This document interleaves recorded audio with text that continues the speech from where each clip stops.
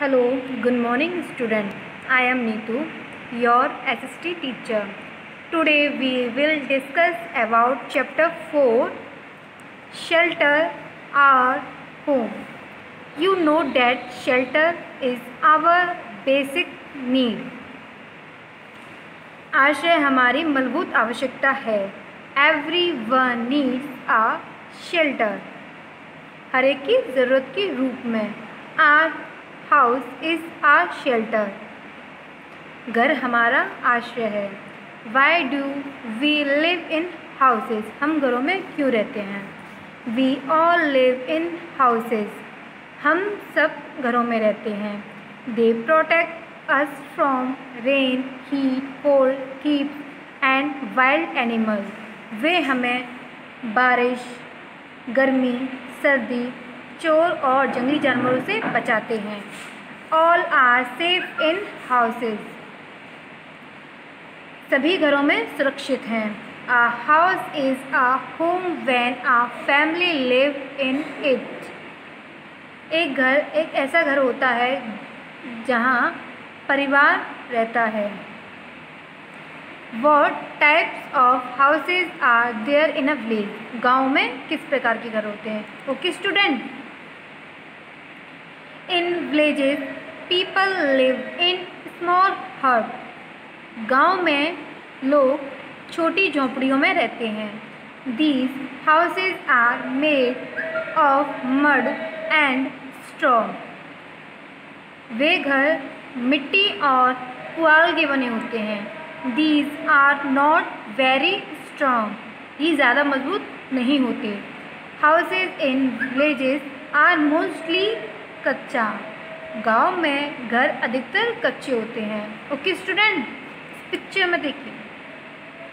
Uh small hut a pucca house what type of houses are there in town and cities कस्बों और गाँव में किस प्रकार के घर होते हैं? In town and cities house in town and cities houses are made of cement sand brick stones and iron कस्बों और गाँवों में घर सीमेंट रेत, ईंट, पत्थर और लोहे के बने होते हैं। दीज हाउसेज आर स्ट्रॉन्ग ये मज़बूत होते हैं। They are called pucca house इन्हें पक्के घर कहते हैं। What are bungalow and flat what are bungalows and flat some people live in big houses called bungalows कुछ लोग बड़े घरों में रहते हैं, उनको क्या कहते हैं? बंगलोज बंगलोज यूजली अ बरामदा लोन एंड गार्डन बंगलोज में आमतौर पर एक बरामदा लोन और गार्डन होता है। In big cities we have multi storeyed buildings बड़े शहरों में हमारे पास बड़ी इमारतें हैं। There are many houses build together in these buildings इन इमारतों में एक साथ कई घर बने होते हैं। दे आर कॉड फ्लैट इन्हें फ्लैट कहते हैं। How are house is build एक घर कैसे बनता है? Many people help in the building of a house कई लोग हमारी मदद करते हैं घर बनाने में। An architect draw the plan of a house वास्तुकार घर की योजना बनाता है। The mason lays the bricks and the stones. मिस्त्री ईंट और पत्थर देता है। The carpenter makes doors, windows, cover and other wooden fitting. बड़े दरवाजे, खिड़कियाँ, अलमारी और लकड़ी की अन्य अन्य फिटिंग करता है। The plumber lays the water pipe. Plumber, student plumber plumber कौन होते हैं? जो नलों की फिटिंग करते हैं। The plumber lays the water pipe plumber. Water pipe देता है the electrician. Fit the electric wire and plug. बिजली वाला तारों और प्लगों की फिटिंग फिटिंग करता है। The house painter painter. Student painter कौन होते हैं? पुताई जो करते हैं घर में। House painter, paint and whitewash the house. Painter paint करते हैं घर को और वाइट वॉश वाइट वॉश करते हैं।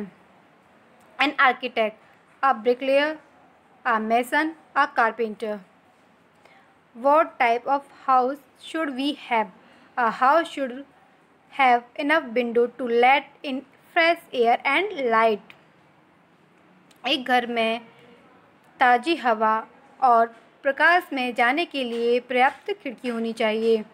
The house must be keep clean and tidy घर को साफ़ सुथरा रखना चाहिए। A clean house keep us healthy एक स्वच्छ घर हमें स्वस्थ रखता है। Cleanliness is next to godliness स्वच्छता भक्ति से भी बढ़कर है। थैंक यू स्टूडेंट स्टूडेंट मैंने आपको फ़र्स्ट पार्ट में एक्सप्लेन किया था चैप्टर फोर। अब मैं आपको कराती हूँ बुक एक्सरसाइज चैप्टर फोर की। Tick the correct answer in the following first in villages people live in bungalows second mud and straw houses third cement houses second mud and straw houses. Second, in town and cities, houses are made made of mud and straw. Second, bamboo. Third, cement, bricks, iron and sand. Cement, bricks, iron and sand. कस्बों और शहरों में कैसे घर बने होते हैं किस किस चीज़ से बने होते हैं घर सीमेंट ईंट लोहे और रेत से सेकेंड से येस और नो आपको येस में और नो में आंसर देने हैं। Okay student first mud houses are very strong मिट्टी के घर मज़बूत होते हैं राइट यस या no no second we must keep our our house is very डटी क्या घर को गंदा रखना चाहिए? यस या no no third the electrician lays the water pipe electrician water pipe देता है। यस या no no fourth the house painters paint and whitewash the house yes या नो पेंटर होता है, वो पेंट करता है।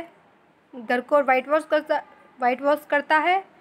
यस या no yes fifth an architect draw the plan of a house architect draw करता है प्लान हाउस का यस या नो यस अब मैं आपको कराऊँगी strength word meaning chapter four की शेल्टर